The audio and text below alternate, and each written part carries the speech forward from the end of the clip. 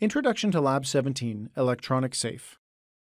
In this video, we will discuss how a variety of concepts and skills developed in the Digital Electronics Lab series will be combined to design and build an electronic safe. Electronic safes are commonly used to secure small valuables in hotel rooms and everyday households.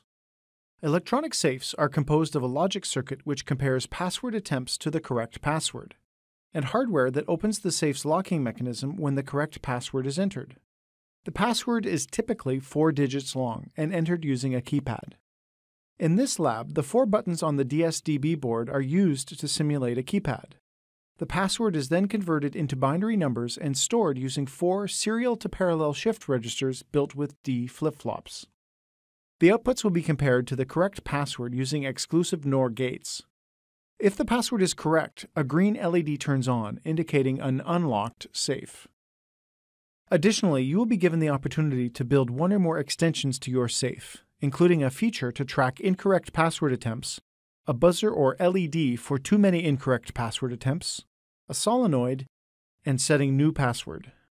You will need to brainstorm and design the circuits needed for these extensions on your own with the guiding instructions provided. In this lab, you will use D flip-flops, XNOR gates, and combinational logic circuits on PLD design. This lab will combine concepts you have acquired in previous labs and allow you to demonstrate your skills more independently.